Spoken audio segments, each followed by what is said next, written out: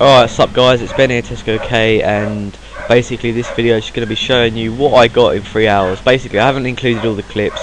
It's going to be me briefly explaining why I'm thinking about going 40 defence. Um, the, vi the video clips will be a bit laggy as well because I've had to record over them.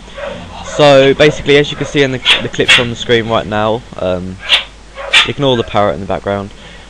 I'm getting attacked by overhead pures and I'm getting ragged and when I do fight rune pures I mean oh, there's only a few my level but there's they're mainly like combat 98 to 100 rune pures or 96 there are a lot of them that level but when I do fight rune pures I get destroyed so much. I mean as you can see in that clip right there I just got destroyed. Doesn't matter how good I'm bridding I'll, I'll just get comboed all the time. So um also, if you're not if you're not bored in in the game, join my CC because open. I opened it yesterday, and if you want to see me stay 30 defense, press the dislike button, and please leave a comment in the, in the description why.